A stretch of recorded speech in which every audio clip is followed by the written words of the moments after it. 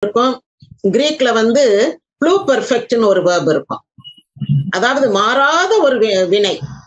இறைவனுடைய கருணை மாறாதது இறைவனுடைய கோபம் அதெல்லாம் யாரும் மாற்ற முடியாது.